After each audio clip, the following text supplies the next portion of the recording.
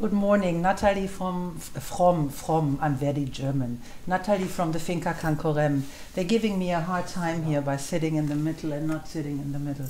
So um, my little story for today is a is a soccer and football story. Here is my cup.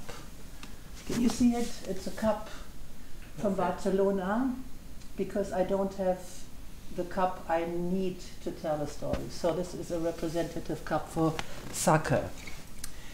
Tomorrow we have an important day in our family because um, my little son, little boy, 22 years old, is going to leave uh, to Helsinki.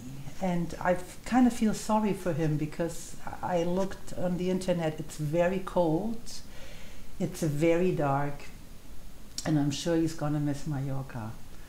So what happened? Why is he going to Helsinki? Um, he has been looking for his passion and a job and a profession for years now.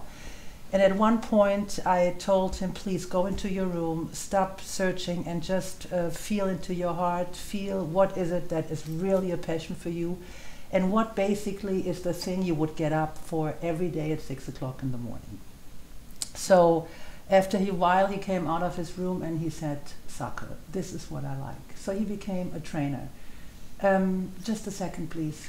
Könntest du das unterlassen? Das macht mich wahnsinnig. Football. Danke.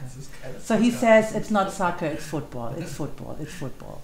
So um, he decided he's going to dedicate his life to football. And during the pandemic, he was doing, he was sending out applications to find a job anywhere in the world. And at the end, a Finnish football team and not soccer team accepted his application and he's going to leave tomorrow for one year and he's going to train little boys uh, which are born into 2011 up to 2016 2011, 2012, 2015.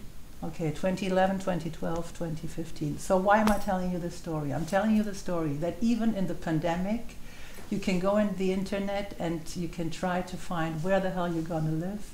Um, me personally i would take the other direction. I wouldn't go to finland. But this is what he likes this is what he loves and i wish him all the best. So um, have a nice day and check out the internet. That's the world. Bye